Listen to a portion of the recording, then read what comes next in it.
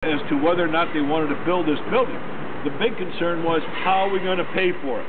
Well, cooler heads got together and people of the state said we're not putting a sales tax on the entire state uh, because that isn't fair. And everybody said that's not fair.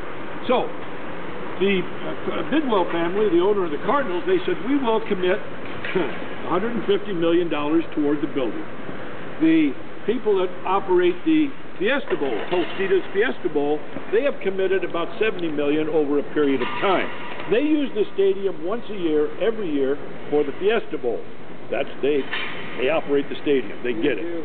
Huh? Yeah. And they also get it twice a year, every four years, when they host the BCS championship. So they're involved. The rest of the money came from a special tax put on hotel rooms and rent-a-cars only in Maricopa County. So the rest of the state's not paying. People said, that's a good idea, let's build it. So they passed the bill. What also came to be with that is this organization called the Arizona Sports and Tourism Authority. They're a quasi-governmental organization that wears a couple of hats. The most important being they own this building and the 25 acres that it sits on. There's 160 acres or 160 acres around us, and that is owned by the Bidwell family. It's called Sportsman's Park. It's a great name for the parking lot, but that's what it's called. You'll hear about that in a little bit as well. So, the uh, Arizona Sports and Tourism Authority is also in charge of our Cactus League Baseball, and they're out there trying to bring more teams in, and maybe some of you know, in, uh, next year, 2009, we're going to add three teams here in the Valley. We have the Dodgers and the White Sox out here in Glendale, the Cleveland Indians will be over here in our neighbor's place in Goodyear. Probably in 2010, they're going to be joined by the Cincinnati Reds. So that's part of the uh, job of the Arizona Sports and Tourism Authority. Well, you know, it's kind of a dull day out, and yet there's no lights on in the stadium, and yet we still have some light in here. You can see. Well, the owners of the Cardinals, the Bidwell family, wanted a stadium that has an open and closing roof but they didn't want a dark stadium. So the architect chose this material up there. It's called Birdair fabric. And it's designed to let light in and keep the weather out. Excuse me. This is Tony. Go ahead. Hey, Tony, we're fine for our timing. So um, give me a call when you're at the top of the media elevator before you come down to the service level, okay? Okay, I've got that. We'll be on our way shortly. I'm going to coordinate everything here. Um, so this fabric, as I said, its job is to let light in and keep the weather out.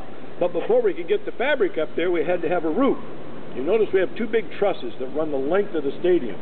Those are called Brunel trusses. They're named after an English engineer who developed that system. They're 700 feet long 87 feet high in the middle, and each one of them weighs 1,800 tons.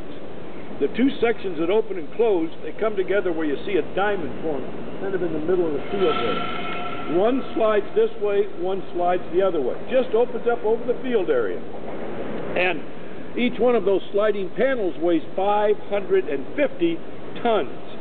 Now, all of that steel was put together down in the dirt before we had any concrete here. We had four of these big super columns, two at this end, two at the far end where you see the end of that truss in that notch, in that big super column. When that steel was all put together, it was lifted at one time all the way to the top. It took four days, 24 hours a day. It's one of the few times we had four days straight of rain in Phoenix as well. But we got it up there. Heaviest lift ever in North America.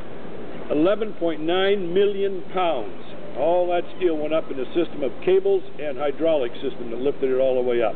So it was really quite an engineering feat. Once it was there, we could stretch that fabric, that Birdair fabric, which is very strong. You could probably drive a small pickup up there, but I wouldn't do it because I'm not sure you could stop in time before you start seeing the concrete coming at you. And it's also like a trampoline. You can bounce on it. It's uh, they figure that it'll last about 50 years, so it's it's been used on a, big super uh, mall over in uh, Maui, Hawaii, where it's withstood hurricane force winds, tropical storms, and the sun and the heat.